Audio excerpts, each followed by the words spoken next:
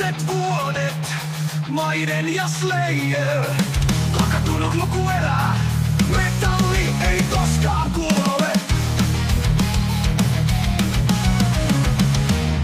Taivas nuri mua, lavan tulessa roihua,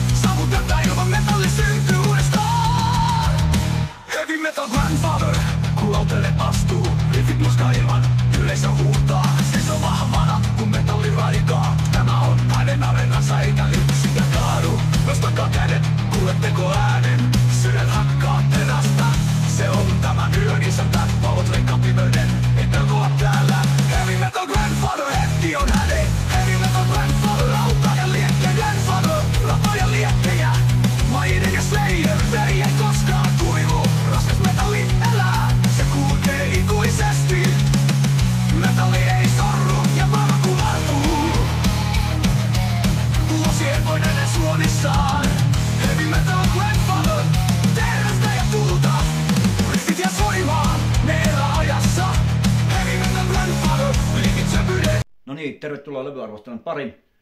Nyt sitten tota, niin, lähdetään tämmöisen äh, kuuluisan kitaristin, eli äh, hänen uusimman levyn. Eli kun nyt on kyse Luke and Strake on englantilaisen kitaristin lauluntekijä Dave Gilmorin viides studioalbumi, äh, jonka Sonic Music julkaisi y- y- 6.9.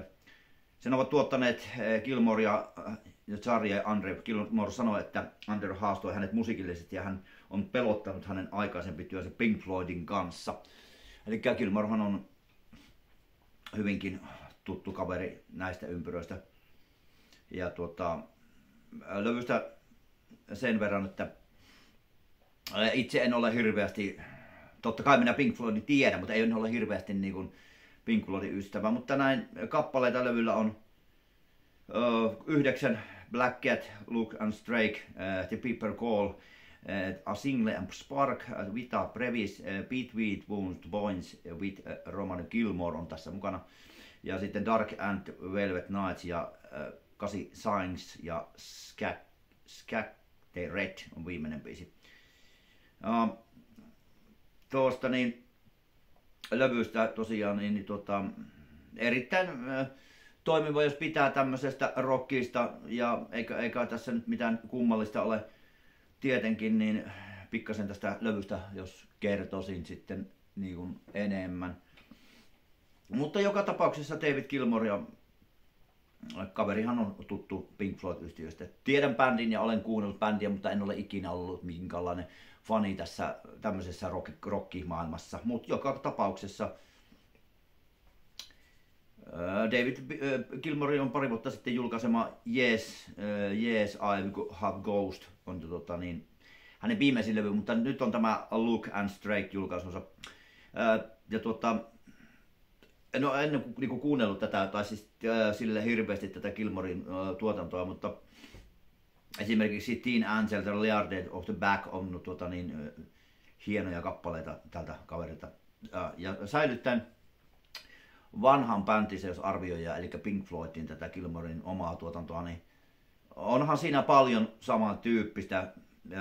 Miettii Gilmorin akustisen kitaran, jossa on semmoinen hyvin kummitteleva meininki ja sitten kummitteleva viulu, läpö tunkevat Kilmorin akustisen kitaran mm, riffit, ihanat äh, Romary, Romany Kilmorin taustalaulut, jotain vahvoja renosovia sanoituksia äh, ja tota, kokonainen albumi tois, toisaalta on laulujen kir- ja kirjoittaminen ei ole kyllä ollut niin kuin Kilmorin varmaan mikään pääasiallinen tehtävä, mutta joka tapauksessa onnistunut kitaristina niin kunnioitettava kaveri ja ky- kyllä minä niin kunnioitan ja näkyyhän tässä, tällä levyllähän näkyy ammattimuusikon asennoituminen, miten levy, levyjä yleensä tehdään.